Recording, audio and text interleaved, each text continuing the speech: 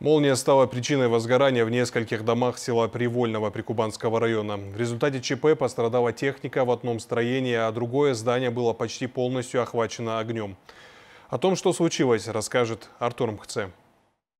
Стихия, к сожалению, может не только подтапливать улицы и ломать деревья. В селе Привольном Прикубанского района несколько молний ударили по жилым строениям. В одном произошло замыкание, из-за чего сгорели телевизор и некоторые другие электроприборы. Следующий удар пришелся в соседнее здание по Луговой 17, которое пострадало в куда большей степени. В среду несколько ударов молнии было, 4 или 5, аж под рогами земля дрогала. Вот одна молния попала, одна вспышка сюда, одна соседям попала. И возгорание пошло. Хорошо, что дома никого не было. Вот практически от дома ничего не осталось.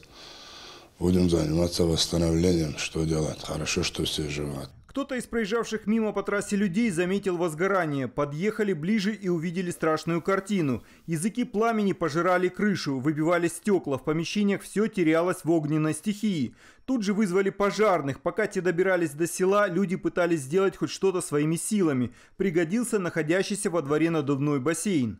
Это все, что осталось от дома. Молния, скорее всего, попала вот в эту вытяжку, после чего огонь распространился на остальные помещения, и дом загорелся. Жильцы в тот злополучный день уехали, дома оставалась лишь кошка. Питомец, увы, не выжил. Но если бы не соседи и посторонние люди, ущерб самому зданию мог оказаться значительно большим. Очевидцы не снимали происходящее на видео, как это водится в последнее время, а старались чем только возможно помочь тому, кто попал в беду. К слову, 38 лет назад дом здесь уже горел, тогда тоже обошлось без человеческих жертв. И вот новый пожар – Страховки на случай ЧП не было, что отметает любые сомнения в случайности происшедшего. Хозяин говорит, что постарается своими силами восстановить жилое здание. Однако работ предстоит очень много. Перекрытия прохудились, норовят упасть в любую минуту. Самостоятельно привести дом в надлежащее состояние семьи из семи человек, где большинство маленькие дети, быстро не получится. Поэтому пострадавшие будут рады любой помощи. Артур Мухцев, Расул Бердиев, Вести Карачаева, Черкесия, Прикубанский район.